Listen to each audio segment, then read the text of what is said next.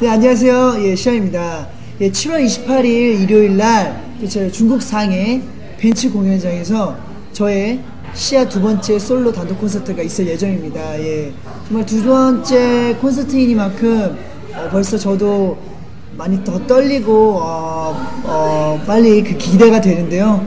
어, 두 번째 콘서트니만큼 그만큼 더 준비를 많이 해서 더 여러분께 성숙해진 모습 또 발전한 모습 보여드릴 수 있도록 할 테니까 여러분도 많은 기대와 감시 부탁드립니다. 예.